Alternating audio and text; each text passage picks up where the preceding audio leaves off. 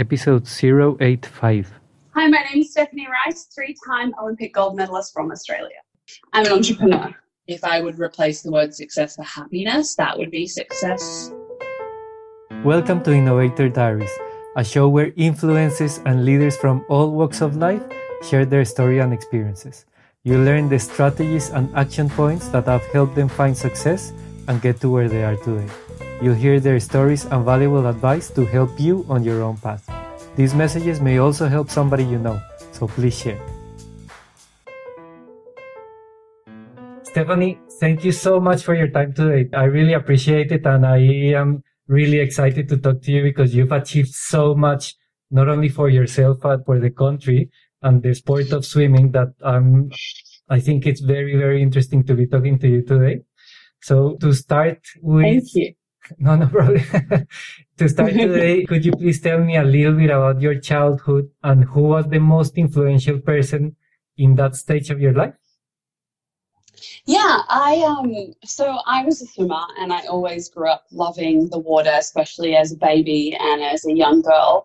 Um, always loved playing in the bath, always loved being in the pool, learning swimming strokes and just it was really like I found that passion so early in life. I don't know any other way other than really following my passion. And I think it was really meaningful for me because I always found, you know, junior school, early primary school really challenging.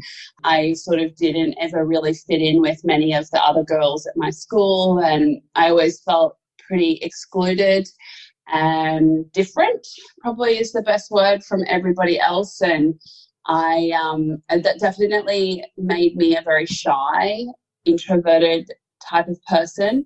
But when i would go to swimming training or playing in the water on my own it was just like that was where i would come alive. And i just loved being in the pool and i loved my swimming friends, like the friends that I made outside of school with swimming. And I'm talking at the ages of like five, six, seven, eight, nine kind of thing. So really, really early on in my childhood. And I always think I gravitated towards swimming because it definitely gave me my sense of identity from a really, really young age.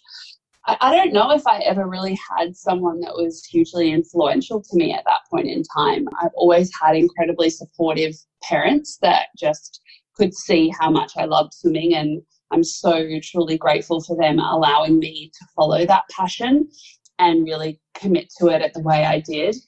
Uh, so I feel that that influential person came in a lot later in life, sort of around 14, 15, and, and that was my swimming coach who I ended up having my entire swimming career with. So, what did he teach you? What do you think is the biggest lesson he taught you? Oh my gosh, that is so hard to sum up in one, you know, succinct sentence.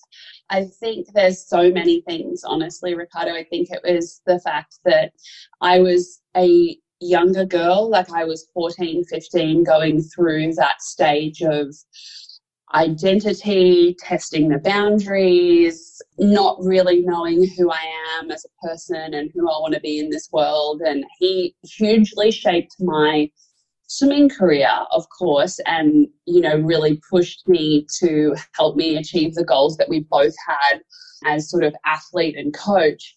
But I think what I'm most grateful for is the fact that he truly shaped my character and my personality and my values and my self worth and a lot of things that have carried through post swimming that I just will forever be grateful for because he almost was like a second father to me. And in swimming, we were training seven hours a day, six days a week. So he was the person I ended up spending most of my time with.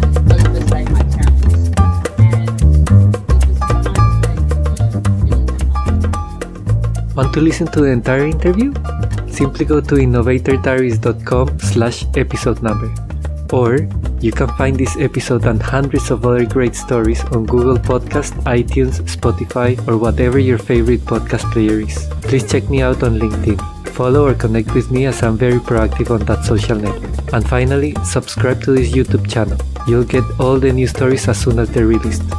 See you next time.